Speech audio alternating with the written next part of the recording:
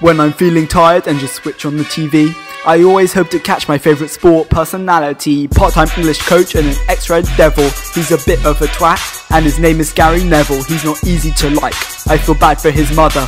Everybody hates him, including his brother. He doesn't beat around the bush. He said things how they are. He's like a more handsome reapery, minus the scar. He gives a non-biased opinion on Sky Sports. I love it when he breaks games down and shares his thoughts. Rooney's a great England player, but he's not as good as me. Alex Ferguson's a genius, he's better than Mancini. Torres is shit.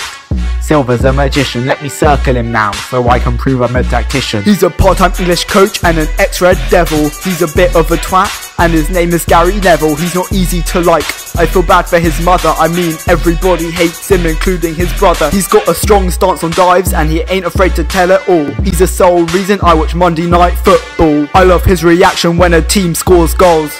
Even though he's got a wife, he still loves kissing Scholes. He thinks zonal marking's crap, and he ain't afraid to show it. He should have lit the Olympic flame, he's a true Brit. At first, I was skeptical, but I think he's won. I'm sure he'll be on RTVs for many years to come. He's a part-time English coach and an ex-Red Devil. He's a bit of a twat, and his name is Gary Neville. He's not easy to like. I feel bad for his mother, I mean everybody hates him, including his brother. It's Torres!